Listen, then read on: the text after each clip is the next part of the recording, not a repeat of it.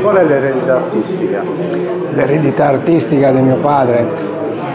Posso, mi piace spiegare l'evoluzione che ha percorso la sua attività da quando faceva le nature morte negli anni 50 e ogni periodo cambiava attraverso un filo rosso cambiava le sue, le sue opere passando da, dalla ceramica alla scultura all'oro, agli arazzi. E questo diciamo che mi ha sempre impressionato, come riusciva a, a cambiare continuamente il suo stile, eh, giungendo fino a, a, delle opere fatte col frullatore, perché le ultime opere le frullava nel frullatore perché non sono dipinte, sono, sono fatte con un impasto di, di terra e di colla e poi appiccicate su,